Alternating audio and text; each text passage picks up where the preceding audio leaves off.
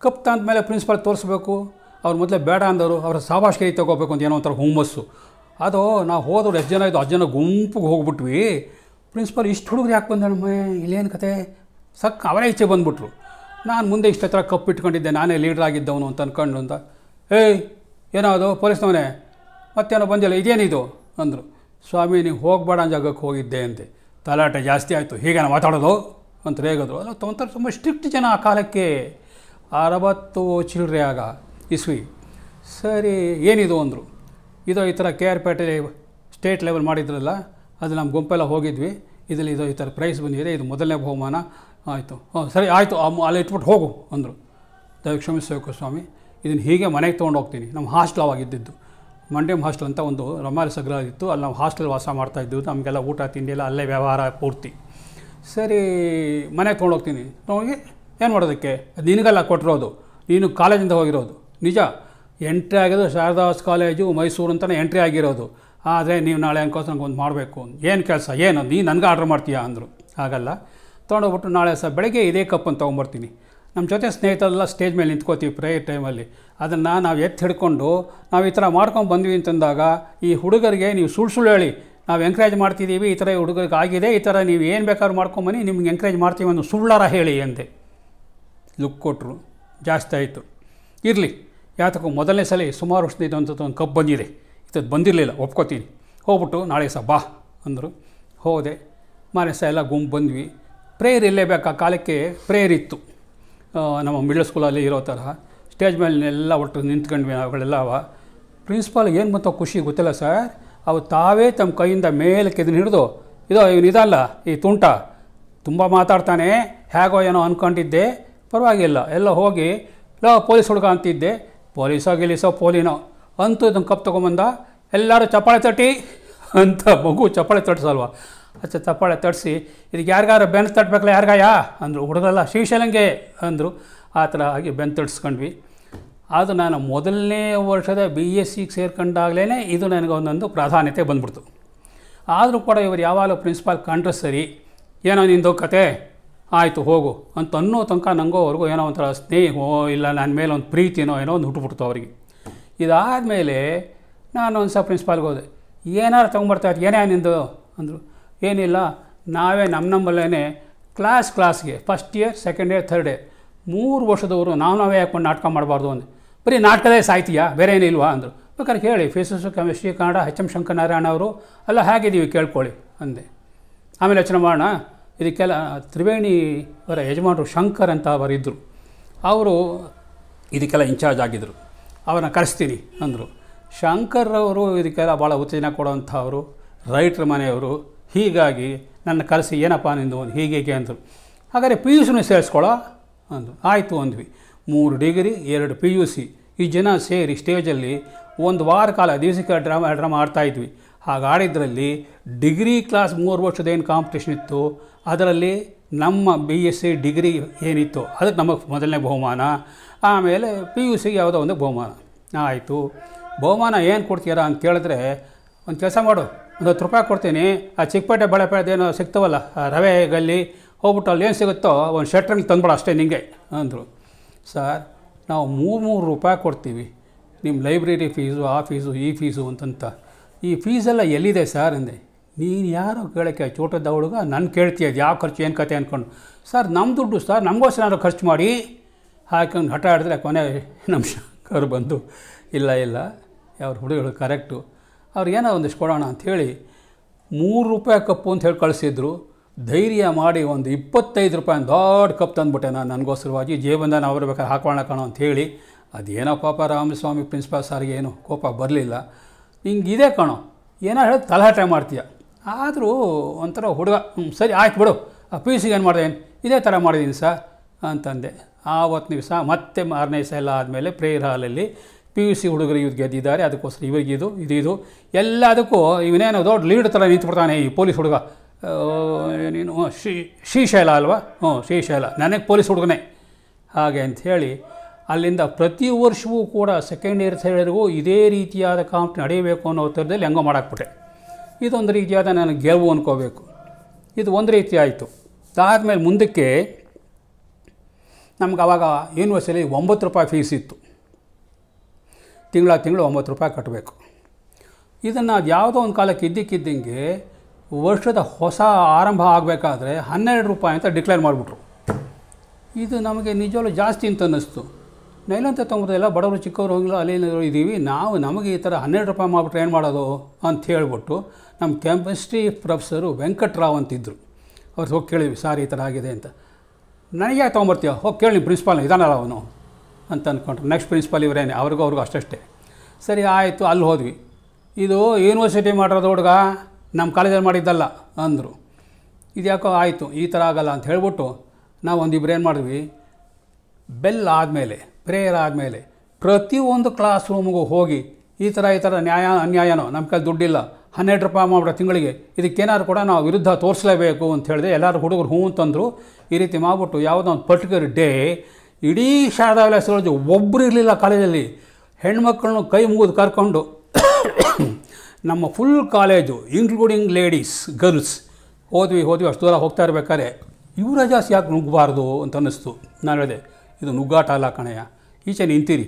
ಹತ್ತು ನಿಮಿಷ ಟೈಮ್ ಕೊಡಿ ಅಂತ ಹೇಳಿದ್ದನು ಅಲ್ಲಿ ಹೋಗ್ಬಿಟ್ಟು ಒಂದು ನಾಲ್ಕಾರು ಹುಡುಗರು ಹೇಳಿದೆ, ಅದೇನು ಅನಿಸೋ ಕಾಣೆ ಇಡೀ ಸುಮಾರು ಒಂದು ನೂರು ನೂರೈದು ಜನ ಯುವರಾಜಾಸಿಂದ ಬಂದ್ಬಿಡ್ತು.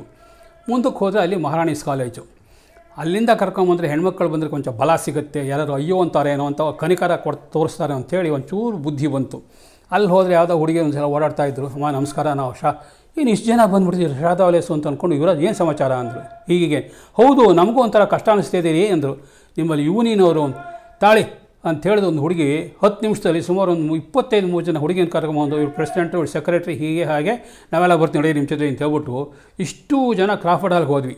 ಹೋಗ್ಬಿಟ್ಟು ರಿಜಿಸ್ಟಾರನ್ನು ಕಂಡು, ನೋಡಿ ಸರ್, ಈ ಥರ ಈ ಥರ ಇದೆ, ಏನು ಮಾಡೋದು, ಈ ಥರ ಆಗುತ್ತೆ ಅಂತಂದರೆ ಮೂರು ರೂಪಾಯಿ ದೊಡ್ಡ ಫೀಸ್ ಆಯಿತಾ ನಿಮಗೆ ಅಂತ ಅಲ್ಲಿಂದ ಪಬ್ಲಿಕಲ್ಲಿ ಭಾಷಣ.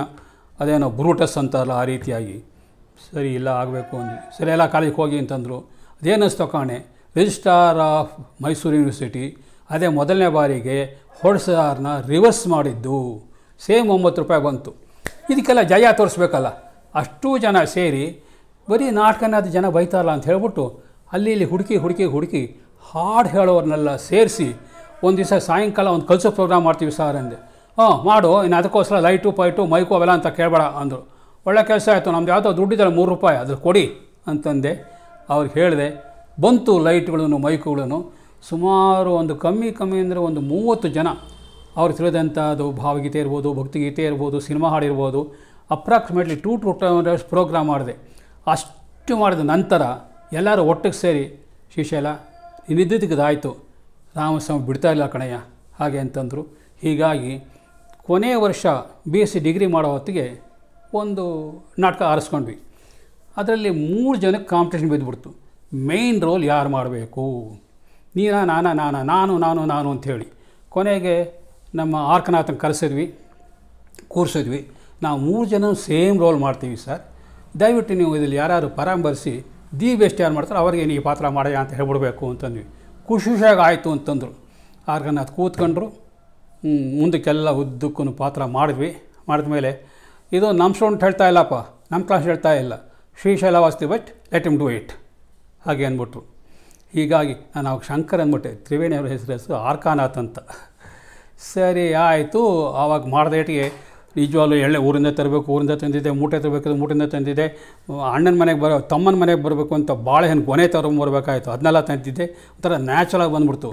ಏನು ವಿಜಿಟಲ್ ಬಿದ್ದು ಬಿದ್ದು ಅಂತಂದರೆ ಅಷ್ಟು ಚೆನ್ನಾಗಿ ಬಿದ್ದು ಸುಮಾರು ಜನ ಹಳೆ ಕಾಲದಲ್ಲಿ ಆರ್ಕೆಸ್ಟ್ರಾ ಚೆನ್ನಾಗಿ ಯಾರು ಹಾಡಿದ್ರೆ ಪಿನ್ ಮಾಡ್ತಲ್ಲ ಒಂದು ನೋಟ್ ತಂದು, ಆ ಥರ ಹುಡುಗರು ನಾನು ಕೊನೆ ಸೀನಲ್ಲಿ ಬಂದ್ಬಿಟ್ಟು, ಕೊನೆ ಸೀಲ್ ನಾನು ಸಿಕ್ಕಾಬಿಟ್ಟು ಅಳಬೇಕು ಹೋಗಬೇಕು ಕಿರ್ಚಾಡಬೇಕು ಗೋಗೊಳ್ಬೇಕು ಬೀಳಬೇಕು ಹೇಳ್ಬೇಕು ಏನೆಲ್ಲ ಏನೋ ಇತ್ತು, ಅಷ್ಟು ಒಂದೇ ಶಾಟು ಅದೇನು ಸಿನಿಮಾನೇ ಕಟ್ ಕಟ್ ಮಾಡೋ ಹಾಕೋಕೆ ಅಂತ ನಮ್ಗೆ ಹಾಕೋದು ಸಿನಿಮಾನೂ ಗೊತ್ತಿಲ್ಲ.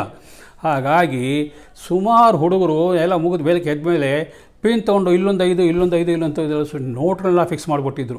ಇದನ್ನು ನಾವು ನಾಟಕದಲ್ಲಿ ಈ ಥರ ಮಾಡ್ತೇವೆ ಅಂತ ಕೇಳಿದ್ವಿ. ಅದು ನನಗೆ ಆದ ಅನುಭವ, ಅದೇ ಮೊದಲನೇ ಸಲ. ಆ ರೀತಿಯಾಗಿ ನನಗೆ ಒಂಥರ ಹೆಮ್ಮೆ ಅನ್ನಿಸ್ತು ಜೊತೆಗೆ ಈ ಪಾತ್ರವನ್ನು ನಾನು ಇಷ್ಟು ಜನ ಮಾಡಿದ್ನ? ಅಥವಾ ಶ್ರೀಶೈಲ ಮೇಲೆ ಅಭಿಮಾನ ಪ್ರೀತಿಗಾರ ಸಿಕ್ಸಿದ್ರ ಅಂತ ಅಂದ್ಕೊಂಡು ಅಂತ ಯೋಚನೆ ಮಾಡ್ತಾ ಇದ್ದೆ. ಆದರೂ ಯಾವುದಕ್ಕೂ ಇರಲಿ. ಇಲ್ಲೇನೋ ಒಂದು ಮಠ ಮುಟ್ಟಿದ್ದೀನಿ. ಯಾಕೆಂದರೆ ಎಸ್ ಎಲ್ ಸಿಯಿಂದ ಡಿಗ್ರಿಗೆ ಬಂದು ಡಿಗ್ರಿಯಿಂದ ಇಷ್ಟೆಲ್ಲ ಮಟ್ಟಿಗೆ ಆಗಿದೆ ಅಂತಂದರೆ ಏನೋ ಒಂದು ಆಗಿರಬೇಕು. ಹಾಗಂತ ಅಂದ್ಕೊಂಡೆ ಅದಾದಮೇಲೆ ನನಗೆ ಬೆಂಗಳೂರು ವಾಸ. ಬೆಂಗಳೂರು ಬಂದ್ವಿ. ಅಷ್ಟೊತ್ತು ಕೆಲಸ ಸಿಕ್ತು. ನ್ಯಾಷನಲ್ ಹೈಸ್ಕೂಲ್ ಮತ್ತು ಅದೇ ಸ್ಕೂಲ್ ಹೋದ್ನ ಅಲ್ಲಿಗೆ ನನಗೆ ಮೇಷ್ಟಿಗಿರಿನೂ ಸಿಕ್ತು. ಮುಂದಕ್ಕೆ ನನಗೆ ಇದು ನಾಟಕದ ಪ್ರಸಂಗ. ಎಲ್ಲಿಗೆ ಹೋಗಬೇಕು? ಗಾಂಧಿ ಬಸಾರಲ್ಲಿ ನಮ್ಮ ಎ ಎಸ್ ಮೂರ್ತಿ ಇರೋದಾರಲ್ಲ, ಅವ್ರ ತಂದೆಯವರು ಸುಬ್ರಾಯರು ಅಂತಂತ ಭಾಳ ಒಳ್ಳೆಯ ಕಲಾವಿದ, ಕುಂಚವಂಟು. ಅವರು ಅಲ್ಲೇ ಇಟ್ಕೊಂಡು, ನಮ್ಮ ಗ್ರೇಟ್ ಶ್ರೀನಿವಾಸ್ ಅವರ ಶಿಷ್ಯ. ಸರಿ, ಎಲ್ಲ ಬರೀತಾ ಅವರಿಗೆ ಸ್ಟೂಡೆಂಟ್ ಸ್ಟೂಡೆಂಟ್ ಸುಮಾರು ಜನ ಇತ್ತಿದ್ರು ಅಲ್ಲಿಗೆ ಒಂದು ದಿವಸ ಹೋದೆ. ಇಲ್ಲಿ ನಾವು ಎ ಎಸ್ ಮೂರ್ತಿ ಇಲ್ಲಿ ಸಿಗ್ತಾರಂತೆ. ಹೌದಪ್ಪ, ನನ್ನ ಮಗನೇ, ಕೂತ್ಕೊ, ಬರ್ತಾನೆ ಅಂತಂದರು. ನೋಡೇ ಇರಲಿಲ್ಲ ಅವರನ್ನು. ಅವ್ರು ಕೂತ್ಕೊಂಡೆ. ಪಡೆ ಬಂದರೆ ಅಪ್ಪ ಮಗ ನಾವು ಮಾತಾಡೋ ಹೊರಡ್ತಾ ಇದ್ದಾರೆ. ರೀ ರೀ, ನೋಡಬೇಕು ಅಂತಿದ್ರಲ್ರಿ ನೋಡಿ, ಇವರೇನೆ. ನನ್ನ ಮಗ ಅಂತ ಹೇಳಿದ್ನಲ್ಲ ಎ ಎಸ್ ಮೂರ್ತಿ ಇವರೇನೇ ಅಂದರು. ನಮಸ್ಕಾರ ಸರ್, ಹೀಗಿದೆ ಹೀಗಿದೆ. ನಿಮ್ಮ ಡ್ರಾಮಾಗಳನ್ನ ಸಾಕಷ್ಟು ಆಡಿದ್ದೀನಿ. ಈ ಥರ ನಾನು ನಿಮ್ಮ ನೋಡೋಕೆ ಬಂದಿದ್ದೀನಿ. ನಿಮ್ಮದು ಚಿತ್ರಕಲಾ ಅಂಥೇಳಿ ಒಂದು ಆರ್ಟಿಸ್ಟ್ ಅಸೋಸಿಯೇಷನ್ ಮಾಡ್ಕೊಂಡು ಒಂದು ಕಲಾ ಸಂಘ ಮಾಡ್ಕೊಂಡಿದ್ದೀರಂತೆ. ಅದಕ್ಕೆ ನಾನು ಸೇರಿಸ್ಕೊಳಕ್ಕಾಗತ್ತಾ ಅಂತಂದು ಕೇಳಿದೆ. ಅನುಭವ ಎರಡೇ ಲೈನ್ ಹೇಳಿ ಅಂದರು. ಇಲ್ಲಿ ತನಕ ಸುಮಾರು ಹೈಸ್ಕೂಲು, ಕಾಲೇಜುಗಳಲ್ಲಿ ಬೇಕಾದಷ್ಟು ಡ್ರಾಮಾ ಆಡಿದ್ದೀನಿ, ಕಾಂಪಿಟೇಷನ್ಗೆ ಹೋಗಿದ್ದೀನಿ. ಕಪ್ಪು ತಂದು ಓ ಸಾಕು ಸಾಕು ಸಾಕು, ಬನ್ನಿ. ಒಂದು ನಾಲ್ಕೈದು ದಿವಸ ಒಂದು ಡ್ರಾಮಾ ರಿಹರ್ಸಲ್ ಹಾಕೋತಾ ಇದ್ದೀವಿ. ಅವಾಗ ಬನ್ನಿ ಸೇರಿಸ್ಕೊಂಡು ಬೆಂಗಳೂರಿಗೆ ಬಂದಾದ ನಂತರ ಮೊಟ್ಟ ಮೊದಲನೇ ಡ್ರಾಮಾ ಆಡೋದಕ್ಕೆ ಅವಕಾಶ ಸಿಕ್ಕಿದ್ದು ಅಂತಂದರೆ ನಮ್ಮ ಎ ಎಸ್ ಮೂರ್ತಿಯವರು ಕಲಾ ಸಂಘ ಚಿತ್ರ ಸಂಘ ಅಂತ ಚಿತ್ರಕಲಾ ಅಂತ ಏನೋ ಇತ್ತದು. ಸರಿ, ಅದಕ್ಕೆ ಹೋಗ್ತಾ ಹೋಗ್ತಾ ಪರಿಚಯ ಆಯಿತು. ಆ ಶ್ರೀನಿವಾಸ್ದು ಮತ್ತು ನಮ್ಮ ಶ್ರೀನಿವಾ ಇವ್ರದ್ದು ಅವ್ರ ತಂದೆ ಸುಬ್ರಾಯರ್ದು ಹೀಗೆ ಅವರ ಜೊತೆ ಜೊತೆಲೇ ಕಮ್ಮಿ ಕಮ್ಮಿ ಅಂದರೆ ಸುಮಾರು ಒಂದು ವರ್ಷ, ಎರಡು ವರ್ಷ ಪೂರ್ತಿ ಡ್ರಾಮಾ ಸೆಟ್ಟು, ಬಟ್ ಎಲ್ಲ ಸೋಷಿಯಲ್ ಡ್ರಾಮಾಗಳು ಈ ರೀತಿಯಾದಂಥ ಯಾವುದೋ ಈ ಹಿಸ್ಟಾರಿಕಲ್ಲು ಮೈಥಾಲಜಿಕಲ್ ಆ ಥರ ಡ್ರಾಮಾ ಏನು ಸಿಕ್ಕಲಿಲ್ಲ ಜೊತೆಗೆ ನ್ಯಾಷನಲ್ ಮಿಡಲ್ ಸ್ಕೂಲ್ ಇದ್ದುದರಿಂದ ನ್ಯಾಷನಲ್ ಹೈಸ್ಕೂಲ್ ಇದ್ದಿಂದ ಅವರು ವರ್ಷ ವರ್ಷ ಮದರ್ಸ್ ಡೇ ಅಂತ ಒಂದು ಮಾಡೋರು. ಅಂದರೆ ವರ್ಷಕ್ಕೆ ಒಂದೇ ಒಂದು. ಅಲ್ಲಿ ತಮ್ಮದೇ ಆದಂಥ ಸ್ಟೂಡೆಂಟ್ಗಳಲ್ಲಿ ಯಾರು ಒಂದು ಹೆಸರು ಮಾಡಿರುವಂಥದ್ದು ಒಂದು ಅವರ ಸ್ಟೂಡೆಂಟ್ನ ತಾಯಿನ ಕರೆದು ಅವ್ರನ್ನ ಪ್ರೆಸಿಡೆಂಟ್ ಮಾಡಿ ಬೇಕಾದಷ್ಟು ಮೂರು ದಿವಸದ ಕಾರ್ಯಕ್ರಮ ಮಾಡೋರು. ಆ ಕಾರ್ಯಕ್ರಮದಲ್ಲಿ ನಾನು ಮೇಸ್ಟ್ ಆಗಿದ್ದರಿಂದ ಹುಡುಗರ ಕೈಯಲ್ಲೂ ಕೂಡ ಕೆಲಸ ಮಾಡಿಸಬೇಕು. ಅದೇ ರೀತಿ ನಾವುಗಳು ಪಾರ್ಟಿಸಿಪೇಟ್ ಮಾಡಬೇಕು. ಇಂಥದ್ದೊಂದು ಅವಕಾಶ ಇತ್ತು. ಅಲ್ಲೂ ಕೂಡ ಸಾಕಷ್ಟು ಮಾಡ್ತಾ ಮಾಡ್ತಾ ಇದ್ದಕ್ಕಿದ್ದಂಗೆ ಅನ್ನಿಸ್ತು, ಇದೆಲ್ಲ ಇವ್ರಿಗೆ ಬಂದು ಇಷ್ಟೊತ್ತಾಯಿತು, ಇನ್ನು ಮುಂದಕ್ಕೆ ಎಲ್ಲಿದೆ ಜಾಗ ಅಂತಿರ್ಬೇಕಾದ್ರೆ, ರೇ, ನೀವು ರೇಟ್ ಸ್ಟೇಷನ್ಗೆ ಹೋ ಪಕ್ಕದಲ್ಲೇ ಗುರ್ತಿರೋರು? ನೀವು ರೇಡಿಯೋ ಸ್ಟೇಷನ್ಗೆ ಹೋಗಿದ್ದೀರಾ? ಅಂದರು. ಇಲ್ಲಪ್ಪ, ಮೈಸೂರಿದ್ದಾಗ ರೇಡಿಯೋ ಸ್ಟೇಷನ್ ನೋಡಿದ್ದೆ. ಒಂಟಿಕೊಪ್ಪಲಿಗೆ ಹೋಗೋ ದಾರಿ ಇಲ್ಲ. ಅಲ್ಲಿ ನೋಡಿದ್ದಷ್ಟು ಏನು ನೋಡಿಲ್ಲ ನಾನು ಅಂತಂದೆ. ಬನ್ನಿ ಇಲ್ಲಿ ಅಂತ ಕರ್ಕೊಂಬಂದು, ನೋಡಿ, ಇದೇ ರೇಟ್ ಸ್ಟೇಷನ್ನು ಹೋಗ್ಬಿಟ್ಟು ಏನು ಬೇಕೋ ವಿಚಾರಿಸ್ಕೊಳ್ಳಿ ಅಂದರು ಅಲ್ಲಿ ತನಕ ನಂಗೆ ಈ ಊರಲ್ಲಿ ಜಾಗದಲ್ಲಿ ಇದೆ ಅನ್ನೋದು ಬರ್ತಲ್ಲಿ ಅಲ್ಲಿ ಕೂಡ ನೋಡಿರಲಿಲ್ಲ. ಸರಿ, ಒಳಗೆ ಹೋದೆ ಅಪ್ಲಿಕೇಶನ್ ಇದು ಅಪ್ಲಿಕೇಶನ್ ಹಾಕಬೇಕು ಅಂದರು, ಹಾಕಿದೆ ಈ ಥರ ಆಡಿಷನ್ಗೆ ಬಂತು. ಆಡಿಷನ್ಗೆ ಹೋದೆ ಆಡಿಷನ್ ಪಾಸ್ ಆಗೋಯ್ತು. ಪಾಸ್ ಆದಮೇಲೆ ಮುಂದಕ್ಕೆ ಮೊದಲನೇ ಡ್ರಾಮಾ ಬಂತು, ಚೆನ್ನಾಗಿತ್ತು. ಈ ಥರ ಹೆಚ್ಚು ಕಮ್ಮಿ ಎರಡು ತಿಂಗಳೊಂದು ಎರಡು ತಿಂಗಳೊಂದು ಲೋಕಲ್ಲಾಗಿ ಈ ಊರಲ್ಲೇ ಆಡುವಂಥ ಡ್ರಾಮಾಗಳು ಜೊತೆಗೆ ಒಂದೊಂದ್ಸಲಿ ನ್ಯಾಷನಲ್ ಡ್ರಾಮಾ ಬರೋದು. ಹಿಂದಿ ಡ್ರಾಮಾಗಳನ್ನ ಟ್ರಾನ್ಸ್ಲೇಟ್ ಮಾಡಿ ಎಚ್ ಎಸ್ ಪಾರ್ವತಿ ಅಂತ ಅಲ್ಲಿದ್ದರು. ಅವರು ಅದನ್ನು ಟ್ರಾನ್ಸ್ಲೇಟ್ ಮಾಡಿ, ಕನ್ನಡದಲ್ಲಿ ಅದನ್ನು ಮಾಡೋರು. ಅದು ಕೂಡ ಸ್ಟೇಟ್ ವೈಡ್ ಈ ರೀತಿ ಇತ್ತು. ಅಲ್ಲಿಗೂ ಕೂಡ ಬರ್ತಾಯಿತ್ತು ಆಹ್ವಾನ. ಹೀಗಾಗಿ ಆಕಾಶವಾಣಿಯಲ್ಲಿ ಒಂಥರ ಪ್ರತಿಷ್ಠಿತ ಆರ್ಟಿಸ್ಟು ಅನ್ನೋ ಥರ ಯಾವ ಪ್ರೋಗ್ರಾಮ್ ಮಾಡಬೇಕಾದ್ರು ಈ ಥರದ್ದು ವಾಯ್ಸು ಈ ಥರದ್ದು ಕ್ಯಾರೆಕ್ಟರ್ ಮಾಡಬೇಕು ಅಂತಂದರೆ, ಇದರಲ್ಲಪ್ಪ, ನಮ್ಮ ನರ್ಸ್ಗಳು ಮೇಸ್ಟ್ರು ಶ್ರೀಶೈಲ, ಅವ್ರನ್ನ ಕರೀರಿ ಅನ್ನೋ ತನಕ ಒಂದು ಹೆಸರು ಬಂತು. ಆ ಟೈಮಲ್ಲಿ ಮುಂದಕ್ಕೆ ಹೋಗ್ತಾ ಹೋಗ್ತಾ ಇದ್ದಂಗೆ ಕಲಾಕ್ಷೇತ್ರ ಟಚ್ ಬಂತು. ಕಲಾಕ್ಷೇತ್ರಕ್ಕೆ ನಾನು ಹೋಗಿ ಟೌನಲ್ಲೆಲ್ಲ ನಾಟಕ ಆಡಬೇಕಾದ್ರೆ ನಮ್ಮದೇ ಆದಂಥ ಅಸೋಸಿಯೇಷನ್ ಏನು ಮಾಡ್ಕೊಂಡು ಹೋಗ್ತಾ ಇದ್ದೇ ವಿನಃ ಅಲ್ಲಿ ಒರಿಜಿನಲ್ಲು ನಮ್ಮ ಕೆಲವಾರು ಅಸೋಸಿಯೇಷನ್ ನಾಟಕ ಆಡ್ತಾರಲ್ಲ ಆ ಥರ ನಾಟಕ ನಾನು ಆಡೇ ಇರಲಿಲ್ಲ. ಸರಿ, ಆವಾಗ ಪರಿಚಯ ಆಗಿದ್ದೇನೆ. ನಮ್ಮ ವೆಂಕಟರಾವ್ ಅಂತ ಇಲ್ಲಿ ಬಾಲ್, ಜವಹರ್ಲಾಲ್ ಬಾಲ್ ಭವನ್ ಇತ್ತಲ್ಲ, ಅದ್ರ ಇನ್ಚಾರ್ಜ್ ಆಗಿದ್ದರು ಅವರ ಆಡಿಸಿದ ನಾಟಕಗಳು, ಅದೆಲ್ಲ ಭಾಗವಹಿಸಿದ್ದೆ. ಅದಾದ ನಂತರ ಮುಂದಕ್ಕೆ ನಾನು ನಾಟಕಕ್ಕೆ ಹೋಗಬೇಕು ಅನ್ನೋ ಕಾಲಕ್ಕೆ ತನಗೆ ತಾನಾಗೆ ಒಂದು ಆಪರ್ಚುನಿಟಿ ಬಂತು. ಅದು ಇದೇ ಜವಾಹರ್ಲಾಲ್ ಬಾಲಭವನ ಅಂತ ಹೇಳಿದ್ನಲ್ಲ. ಬಾಲಭವನದಲ್ಲಿ ಅಲ್ಲಿ ಬರುವಂಥ ಚಿಕ್ಕ ಚಿಕ್ಕ ಮಕ್ಕಳನ್ನ ಸಮ್ಮರ್ಗೆ ಅಂತ ಸೆಲೆಕ್ಟ್ ಮಾಡ್ತಾಯಿದ್ರು ವೆಂಕಟರಾವ್. ಆ ಸಮ್ಮರ್ ಟೈಮಲ್ಲಿ ಅವರಿಗೆ ಟ್ರೈನಿಂಗ್ ಕೊಡೋಕ್ಕೆ ಅಂತ ನಾನು ಕರೆದ್ರು. ಸುಮಾರು ಒಂದು ಮೂರು ವಾರದ ಟ್ರೈನಿಂಗು ಅದಕ್ಕೆ ಅವರಿಗೆ ವಾಯ್ಸ್ ಇಂಟನೇಷನ್ ಹೇಗೆ ಹೇಳಬೇಕು ಬಾಡಿ ಲ್ಯಾಂಗ್ವೇಜ್ ಹೇಗೆ ಅಂತ ಹೇಳಬೇಕು. ಇಷ್ಟು ದೊಡ್ಡವನಾಗ್ಬಿಟ್ಟು ನಾನು ನಾನೇ ಇನ್ನೂ ಕಲಿತಾ ಇದ್ದೀನಿ, ಅಲ್ಲಿ ಇಲ್ಲಿ ಡ್ರಾಮಾ ಮಾಡ್ತಾಯಿದ್ದೀನಿ ವೆಂಕಟರಾವ್ ಏನಪ್ಪ ಇದನ್ನು ಮಾಡು ಅಂತ ಹೇಳ್ತಾರಲ್ಲ ಹಾಗೆ ಅಂತ ಅಂದ್ಕೊಂಡೆ ಧೈರ್ಯ ಮಾಡಿದೆ. ನಮಗೆ ನಮ್ಮಲ್ಲೇ ನಂಬಿಕೆ ಇಲ್ಲದೆ ಹೋದರೆ, ನಮಗೆ ಧೈರ್ಯ ಇಲ್ಲದೆ ಹೋದರೆ ಕೆಲಸ ಆಗಲ್ಲ. ಅದಂತ ಒಂಚೂರು ಬುದ್ಧಿಗೆ ಬಂತು. ಹಾಗೆ ಹೋಗಿ ವೆಂಕಟ ಅವರ ಡೈಲಾಗು ಡೈರೆಕ್ಷನ್ನು ಈ ಥರದ್ದೆಲ್ಲ ಮಕ್ಕಳು ಹೇಳ್ಕೊಡ್ತಾ ಹೇಳ್ಕೊಡ್ತಾ ಮಕ್ಕಳ ಜೊತೆ ಮಕ್ಕಳು, ದೊಡ್ಡ ಜೊತೆ ದೊಡ್ಡ ಹೀಗಾಗಿ ಅದೊಂದಿಷ್ಟು ಕಲಿಕೆಗೂ ಕೂಡ ಸಾಕಷ್ಟು ಅವಕಾಶ ಆಯಿತು. ಹೀಗೆ ಮಾಡ್ತಾ ಇದ್ದಂಗೆ ಒಂದು ದಿವಸ ಏನು ಮಾಡಿದ್ರು ನಮ್ಮ ಸತ್ಯನಾರಾಯಣ ಅಂತ ಒಬ್ಬರು ಇದ್ದಾರೆ ಆಕಾಶವಾಣಿಯಲ್ಲಿ ಅವರು, ನೀವು ಸಿನಿಮಾ ಮಾಡ್ತೀರೇನ್ರಿ ಅಂದರು. ಚು ಯಾರು ಹೇಳ್ತಾ ಇದ್ದಾರೆ ಸ್ವಾಮಿ ನೀವು? ನಾನು ಸಿನಿಮಾಲ್ ಮಾಡೋದ. ಸುಮ್ಮನೆ ನೀವು ಸರಿ ಹಿಂದೆ. ಸುಮ್ಮನೆ ಕೆದಕ್ತಾ ಇದ್ದಾರೆ ಅಂತ ಅಂದ್ಕೊಂಡೆ ಇಲ್ಲ. ನಿಜವಾದ ಸಾಯಂಕಾಲ, ನಾನು ನಿಮ್ಮನ್ನ ಎಲ್ಲಿಗೋ ಕರ್ಕೊಂಡು ಹೋಗ್ತೀನಿ ಬರ್ತೀರೇನ್ರಿ ಅಂದರು. ಎಲ್ಲಿಗೋ ಅಂದರೆ ಹಾಗೆ ಸ್ವಾಮಿ, ಡೇಂಜರು. ಎಲ್ಲಿ ಕರ್ಕೊಂಡು ಹೋಗ್ತೀರಿ ಹಿಂದೆ? ಸುಮ್ಮನೆ ಜೊತೆ ಬರೋಕ್ಕೆ ನಮ್ಮ ಸ್ಕೂಟ್ರು ಇಟ್ರು ಏನಿಲ್ಲ ಆಗ. ಇಲ್ಲಿಂದ ಸಿಟಿ ಬಸ್ ಹತ್ತಿ ಮಿನರ್ವಾ ಟಾಕೀಸ್ ಹತ್ರ ಕಾಮತ್ ಇದೆಯಲ್ಲ ಹೋಟ್ಲು, ಅಲ್ಲಿಗೆ ಹೋಗಿ ನಾವು ಸೇರಿದ್ವಿ. ಸೇರಿದ ಮೇಲೆ ಎಲ್ಲ ಭಾಗ ತಟ್ಟಿದ್ರು ಒಳಗಿಂದ ಒಬ್ಬ ವ್ಯಕ್ತಿ ಬಂದರು. ನಾನು ಹೇಳಿದ್ನಲ್ಲ ನಿಮ್ಗೆ ಮೊನ್ನೆ. ಬಂದು ಹೇಳ್ಬಿಟ್ಟು ಹೋಗಿದ್ದೆ, ಹೌದಾ? ಅವ್ನು ಕರ್ಕೊಂಬರ್ತೀನಿ ಅಂತ, ಇದು ಅವ್ರನ್ನ ಕರ್ಕೊಂಬಂದಿದ್ದೀನಿ ಇವ್ರ ಹೆಸರೇ ಶ್ರೀಶೈಲನ್ ಅಂತ, ನ್ಯಾಷನಲ್ ಹೈಸ್ಕೂಲ್ ಮೇಷ್ಟ್ರು.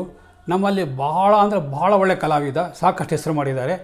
ಶ್ರೀಶೈಲನ್ ಅಂದರೆ ಸಾಕು, ಓಹೋ ಅಂತಾರೆ, ಅಲ್ಲಿ ತನಕ ಆಗಿದೆ ಅಂತಂದರು. ಕೂತ್ಕೊಳ್ರಿ ಅಂದರು. ಇವರು ಮುಖ್ಯವಾಗಿ ನಿಮ್ಗೆ ಹೇಳಬೇಕು ಅಂತಂದರೆ, ನಮ್ಮಲ್ಲಿ ಏಸು ಮೂರ್ತಿ ಇದ್ದಾರಲ್ಲ ಹ್ಞೂ ಅವ್ರು ಈರಣ್ಣ ಈರಣ್ಣ ಅಂತ ಒಂದು ಕ್ಯಾರೆಕ್ಟರ್ ಮಾಡ್ತಾರಲ್ಲ ಅಂತ ಇದೊಂಚೂರು ಹೇಳಬೇಕು. ಈರಣ್ಣ ಅವರು ಪ್ರತಿ ಸಹ ಸಾಯಂಕಾಲ ಒಂದು ಐದು ನಿಮಿಷ ರೇಡಿಯೋ ಬರೋರು. ಆ ಐದು ನಿಮಿಷದಲ್ಲಿ ಆ ಪರ್ಟಿಕ್ಯುಲರ್ ಡೇ ಅಥವಾ ಹೋದ ವಾರ ಏನು ಸಿಚುಯೇಷನ್ ಇತ್ತು ಅದು ರಾಜಕೀಯ ಆಗಿರ್ಬೋದು ಪ್ರೈವೇಟ್ ಆಗಿರ್ಬೋದು, ಏನೋ ಸಮಸ್ಯೆ ಇರ್ಬೋದು ಅದನ್ನ ಏನಾಗ್ಬೋದು ಏನು ಗೊತ್ತಿಲ್ಲ ನಿಮಗೆ? ಎಲ್ಲೋಗಿಲ್ಲ ಬ್ಯಾಂಗ್ಳೂರ್ ಹೋಗಿದ್ದು ತಗೊಳ್ಳಿ ಅಂತ ಒಂದು ಐದು ನಿಮಿಷ ಆ ಭಾಷೆ ಮಾತಾಡೋರು. ಸರಿ, ಕಾಫಿ ಕೊಡೋಕ್ಕೆಲ್ಲ ಇವತ್ತು ಬರ್ತೀನಿ ಬಿಡಿ ನಾನು ಅಂತ ಹೋಗ್ಬಿಡೋರು. ಈ ಭಾಷೆಯನ್ನು ಮಾತಾಡ್ತಾನೆ ಇವನು. ನಾವು ಎಷ್ಟೋ ಸಲ ಟ್ರೈ ಮಾಡಿದ್ದೀವಿ ಅಂತಂದರು ಸತ್ಯನಾರಾಯಣ ಹೌದೇನ್ರಿ? ಏನಾದ್ರು ಮಾತಾಡ್ರಿ. ಅಂದರು, ಏನು ಮಾತಾಡಿ ಸ್ವಾಮಿ? ಈಗ ನನ್ನ ಹತ್ರ ಡೈರೆಕ್ಟು ನೀವು ಇದನ್ನೇ ಮಾತಾಡಿ ಅಂತಂದರು. ಸುಮಾರು ಹೊತ್ತು ಹೊಡೆದೆ ಆ ಭಾಷೆಯಲ್ಲೇ ಪರವಾಗಿಲ್ಲ ರೀ ಏನಾಗ ಬುದ್ಧಿ ಶುರು ಮಾಡ್ಕೊಂಡ್ರೆ ನೀವು? ಏನೂ ಇಲ್ಲ ಬುದ್ಧಿ ಅನ್ನೋ ತಂಗ ಅಂದ್ಬಿಡ್ತು ನೀವು? Okay you are my artist ಅಂದರು. ನಮಸ್ಕಾರ ಸ್ವಾಮಿ ನನ್ನ ಮುಖ ನೋಡಿ, ಅವತಾರ ನೋಡಿ, ಆಕಾರ ನೋಡಿ, ಸಾಮಾನ್ಯವಾಗಿ ನಾನು ಅಂದ್ಕೊಂಡಿರೋದು ಒಬ್ಬ ಕಲಾವಿದ ಅಂತ ಆಗಬೇಕು ಅಂತ ಅಂದರೆ ಅವನಿಗೆ ಒಂದು ಮುಖಲಕ್ಷಣ ಇರುತ್ತೆ, ಆಮೇಲೆ ಅವನೊಂದು ವೈವಿಧ್ಯತೆ ಇರುತ್ತೆ, ಒಂದು ಪರ್ಸನಾಲಿಟಿ ಇರುತ್ತೆ ಅವೆಲ್ಲ ಕೂಡ ದೂರ ಇಟ್ಬಿಟ್ಟು ನೀವು ನಾನು ಆರ್ಟಿಸ್ಟ್ ಅಂದ್ಬಿಟ್ರೆ ಹೇಗೆ ಸರ್ ಅಂದೆ. ಯಾಕೆ? ಈಗ ನೀವೇನು? ಏನು ನಿಮ್ಮ ಮನಸ್ಸಲ್ಲಿ ಅಂದರು. ಈಗ ರಾಜ್ಕುಮಾರ್ ಸರ್ ನೋಡಿ, ಕಲ್ಯಾಣ್ ಕುಮಾರ್ ಸರ್ ನೋಡಿ, ಎಷ್ಟು ಮುದ್ದಾಗಿ, ಎಷ್ಟು ಲಕ್ಷಣವಾಗಿದ್ದಾರೆ. ಅವ್ರು ಆಡೋ ಡೈಲಾಗು ಡೈಲಾಗು ನಿಮ್ಮದಲ್ಲ ನಾನು ಹೇಳ್ಕೊಡ್ತೀನಿ, ನಾ ಡೈರೆಕ್ಟ್ರು ನೀವು ಅದನ್ನು ಹೇಳಬೇಕಷ್ಟೇ ಅದು ಬಿಟ್ಬಿಟ್ಟು ನಿಮಗೆ ಮಿಕ್ಕಿದ್ದು ಏನು ಪ್ರಾಬ್ಲಮ್ ಹೇಳಿ ಅಂತಂದರು. ನಾ ಸೆಟ್ ಆಗಲ್ಲ ಅಂತ ಕಾಣಿಸ್ತೀನಿ ಸರ್ ಅಂತಂದೆ. ನೀವು ಒಂದು ಕಡೆ ತಂದೆ ಆಗಿದ್ದೀರಾ? ಹ್ಞೂ. ಒಂದು ಕಡೆ ಗಂಡ ಆಗಿದ್ದೀರಾ? ಹ್ಞೂ. ಒಂದು ಕಡೆ ಇನ್ನೇನಾಗಬೇಕು? ಎಲ್ಲ ಈ ಥರದ ಸಮಾಜದ ಮಧ್ಯೆ ಏನೇ ಆಗಬೇಕು ಎಲ್ಲ ಆಗಿದ್ದೀರಾ? ಅದನ್ನೇ ತಾನೇ ನಾವು ತೆಗೆಯೋದು. ಡ್ರಾಮಾ ಆಗಲಿ, ಇಲ್ಲ ಏನಾದ್ರು ಒಂದು ಶೂಟಿಂಗ್ ಆಗಲಿ, ಇಲ್ಲ ಫಿಲಮ್ ಆಗಲಿ, ಆ ಥರ ನನ್ನ ಸಬ್ಜೆಕ್ಟ್ ಏನು ಅದು ತಗೋತೀನಿ. ಇವಾಗ ನೀವು ಎ ಎಸ್ ಮೂರ್ತಿ ಎದುರು ಕರೆಕ್ಟಾಗಿ ಮಾಡಬೇಕು. ಆಗತ್ತಾ ನಿಮಗೆ? ಅಂದರು. ನೋಡಿ, ನಾಟಕದ ಮಾಡ್ಕೊಂಬಂದವರಿಗೆ ಆಗತ್ತಾ ಅಂತ ಕೇಳಬೇಡಿ. ಅವ್ರ ಧೈರ್ಯನೇ ಬೇರೆ, ಅವ್ರ ಒಡೆತನೇ ಬೇರೆ. ಆದರೆ ನನಗಿರೋ ಒಳಕು, ನಾನು ನಿಮ್ಮ ಸಿನಿಮಾಗೆ ಸೂಟ್ ಆಗ್ತೀನಾ? ಆಗಬಹುದಾ ಅನ್ನೋದು ನನಗೊಂಥರ ಒಂಥರ ಅಳುಕು ಅಂದೆ. ಅದೇನಿಲ್ಲ ನಾನು ಮಾಡ್ತೀನಿ. ನೀವು ಇಷ್ಟಿದ್ದ ಗಡ್ಡ ಬಿಡಬೇಕು. ಅವ್ರು ಬಿಟ್ಟಿದ್ದಾರೆ ಒಂಥರ ಬಿಳಿ ಈ ಥರ, ಈಗ ರಷ್ಯನ್ ಗಡ್ಡ. ಆ ಥರ ಸುಮಾರು ಮೂರು ತಿಂಗಳು ನೀವು ಗಡ್ಡ ಬಿಡಿಸ್ಬಾರ್ದು ಅಂದರು. ನಾ ಸ್ಕೂಲ್ ಮೇಷ್ಟ್ರು ಸ್ವಾಮಿ ಲಕ್ಷ್ಮಣ ಹೋಗಬೇಕು. ಇದು ಹುಡುಗರೆಲ್ಲ ರೇಗ್ಸಲ್ವಾ? ಹುಡುಗರಿಗೆ ನೀವು ಹೀಗಿರಬೇಕು ಹೀಗಿರಬೇಕು ಅಂತ ಅನ್ಬೇಕಾದ್ರೆ ನಾವ್ಯಾಕೆ ಹಾಗೋಗೋದು ಅಂದೆ. ಮಾತಾಡೋಂಗಿಲ್ಲ ಅಷ್ಟೇ, ಕ್ಲಾಸ್ ಅಂತಂದರು. ಆಯಿತು, ಬಿಟ್ಬಿಟ್ಟೆ. ನೋಡೋಣ, ಚಿತ್ರರಂಗ ಗೊತ್ತಿಲ್ಲ. ಇಂಥ ಟೈಮಲ್ಲಿ ಹೇಗೆ ಮಾಡೋದು ಅಂತ ಯೋಚನೆ ಮಾಡ್ತಾ ಇದ್ದೆ. ಇಷ್ಟೆಲ್ಲ ಹೇಳಿದ್ರಲ್ಲ, ಆ ಡೈರೆಕ್ಟ್ ಯಾರು ಗೊತ್ತಾ? ಮುಂದಿನ ಎಪಿಸೋಡ್ ಹೇಳ್ತೀನಿ.